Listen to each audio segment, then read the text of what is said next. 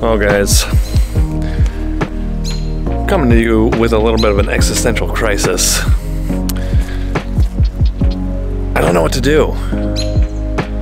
The 4Runner is basically done in its IFS version, right? Like, I could put a front locker in it and break axle shafts and worry about that whole thing.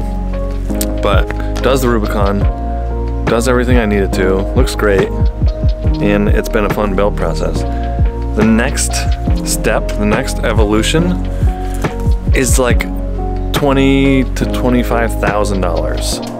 That is four-wheel underdrive, front three-link, four-wheel underdrive, rear three-link. That's super duty axles. That's three thousand dollars for a transfer case. That's three thousand dollars for wheels and and or forty-five hundred dollars for wheels and tires. Um, and that's just getting started. I need so much stuff to make this next phase work, and I'm honestly second guessing it. Like, should I just sell it right now and start over? Should I do a giveaway? Is that even a possibility? Is it is it possible that I could create a giveaway that would net enough money to make it worthwhile, or would I just take a, a complete and utter loss? and give this thing away for like, you know, $1,200 in t-shirt sales. So I'm not really sure what to do.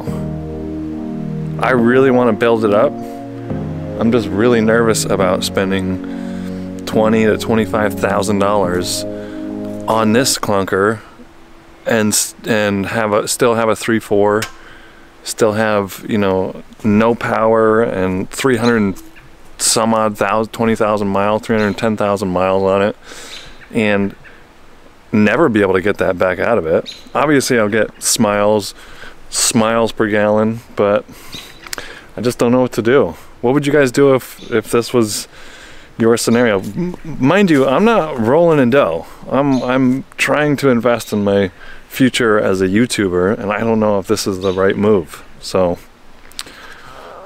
I'm kind of looking for some insight. Do you guys want to see me keep building this thing, build it up to a, a monster truck? Or if I'm going to do that, should I start with something different, a fourth gen 4Runner or a second gen Tacoma pickup or you know, something that's maybe a little bit nicer, maybe a little bit newer. The problem with that is that four-wheel underdrive does not make three links for it. Uh, WFO does, Rockhound does, other people do. I was really attracted to the four-wheel underdrive just because I know that he's got the geometry figured out perfectly and it would be a road beast, it would be a trail beast, and probably even a desert beast. So, all with, you know, three, four horsepower, which is not much, but I don't know, guys.